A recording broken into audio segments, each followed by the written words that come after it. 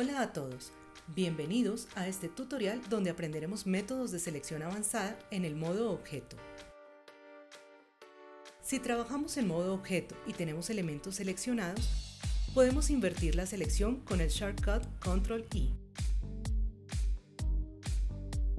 Así se deseleccionan los objetos que tenemos seleccionados y se seleccionan los objetos que están sin seleccionar.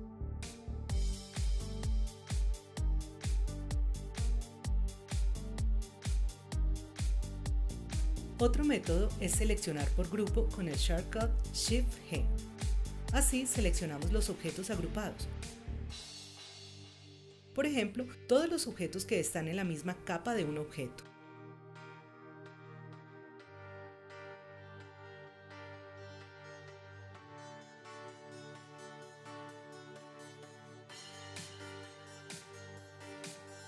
Otra alternativa es entrar a Select Select All by Layer y aquí Blender selecciona todos los objetos de la capa que podemos escoger en el menú T.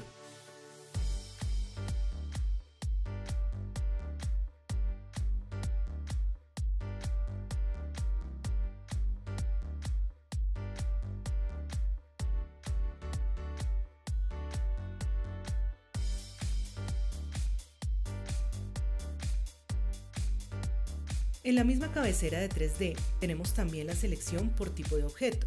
Vamos a Select, Select All by Type y podemos elegir el tipo deseado.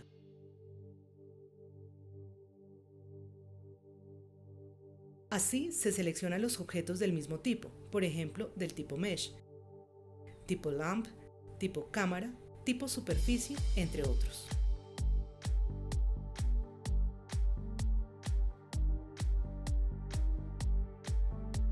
Por último, con el shortcut Shift L seleccionamos objetos que estén linkeados por alguna característica como material, textura, librería. Por ejemplo, tenemos un personaje con diferentes materiales.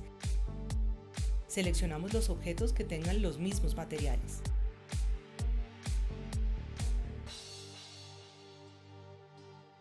Si tienes alguna duda, puedes dejarla en los comentarios y la solucionaremos en un próximo video. Te invitamos a que te suscribas al canal y a seguirnos en las redes sociales, donde podrás ver nuestros proyectos y estar al tanto de los tutoriales que tenemos para ti.